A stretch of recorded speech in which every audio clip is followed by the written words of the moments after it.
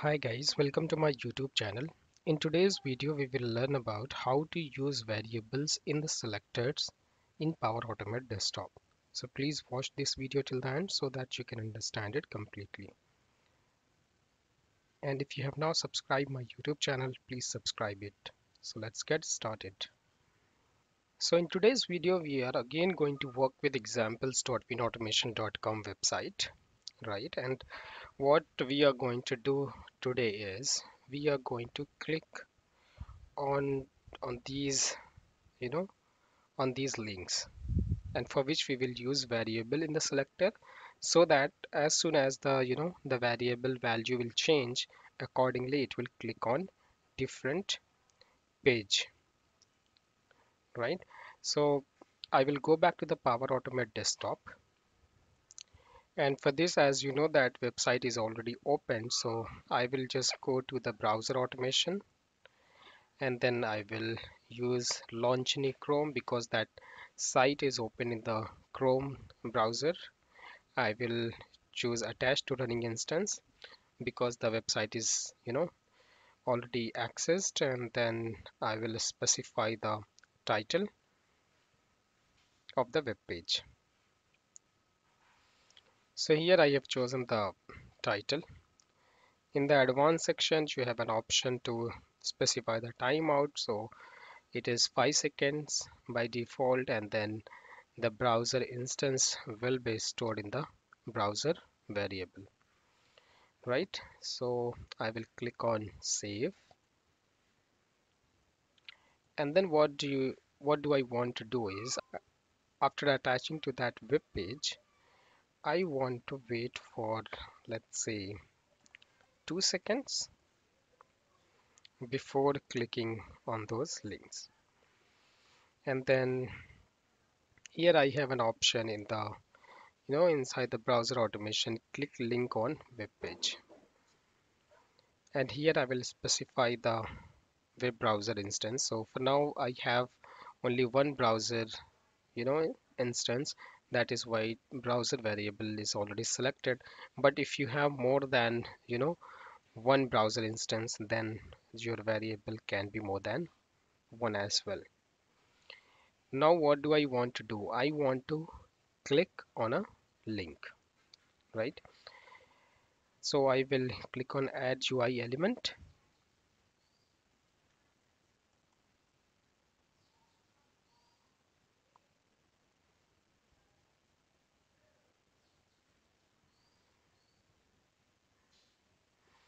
and now you can see here that tracking session or dialog box is opened. Now what do I want to do? I want to highlight on these links right? So I will specify the highlight the first link and then I will press control and left mouse click. And you can see here that the you know element is captured in the advanced section you have uh, an option that wait for page to load. So you can enable and disable accordingly. And if a pop-up dialog box appears then what do you want to do? So let's say if you want to close that pop-up you can just click select the close it. And if you choose you know press a button so you can specify which button you want to click. And here also you have an option to choose the variable name just in case if you have you know stored the button name in some variable right? So I am going to choose do nothing because uh, there is not going to be any pop-up so I will not choose it. And inside on error when you click on on error you will see multiple you know options or options available the first is like retry retry action if an error occurred. So you can you know how many times you want to retry this action just in case there is an error. So let's say if I say two times and at the interval of five seconds so you can just specify it here as well. But I will keep it disabled for now. I will click on return to parameters and then I will click on save. Okay. Now I will go to the you know UI elements. And here you can see that uh, we have this element and it has captured the path of it right? I will double click on it. So now you can see here that the complete path of that element is present here so what is happening here is this number one is going to change. For example if you are going to click on third you know link then this the value will be 2 right? And for that you need to you know store this number into a variable right so what I will do here is I will just click on update first and then I will click on close. And then I will click on run.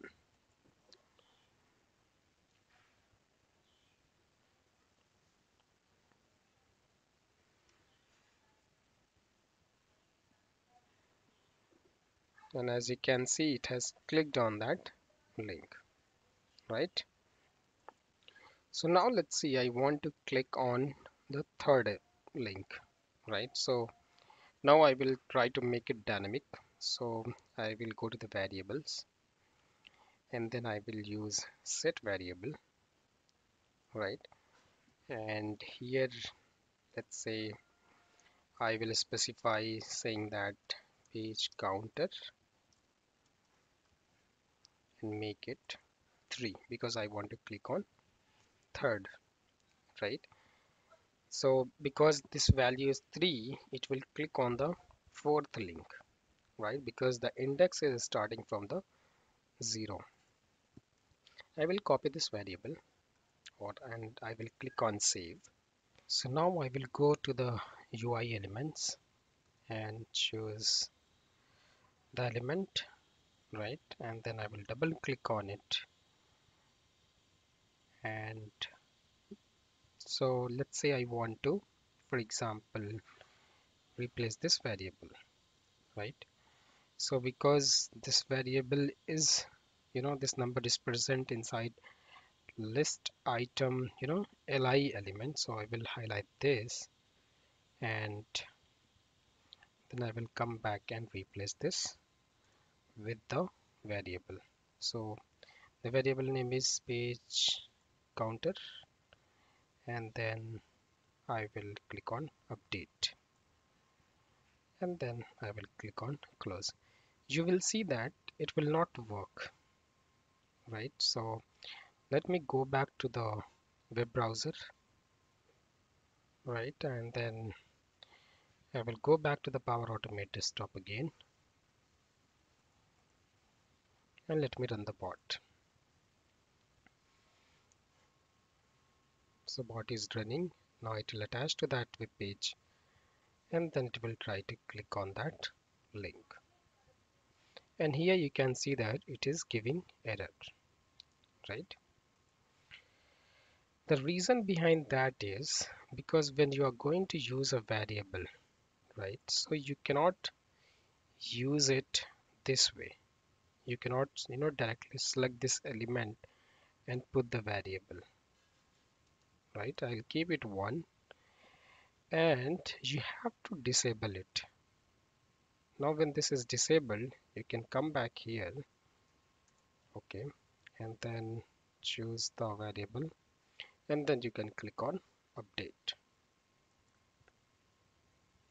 Now when I will run the bot you will see that it is able to click on that page 4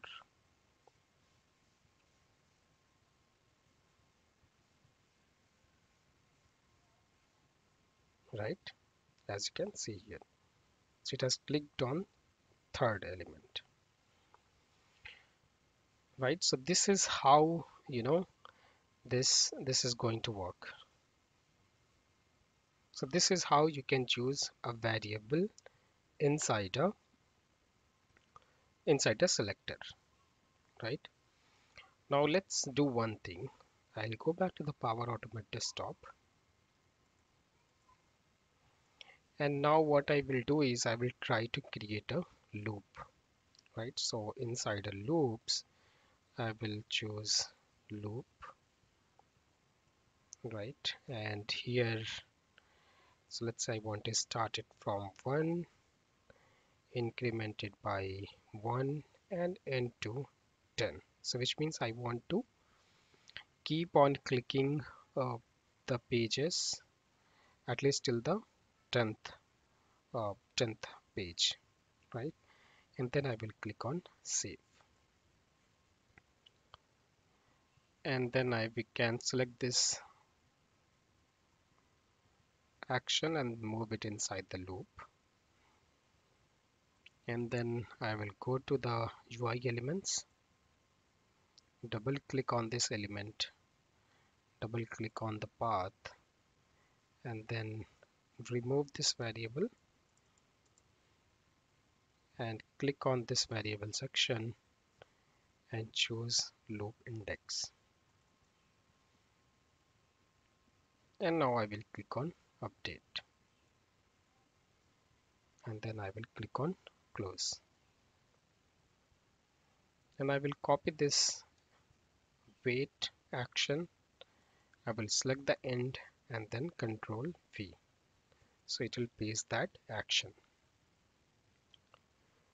I will go back to the web page and I will click on the first link you know so the page is on the first one and then I will go back to the Power Automate desktop and then I will run the bot.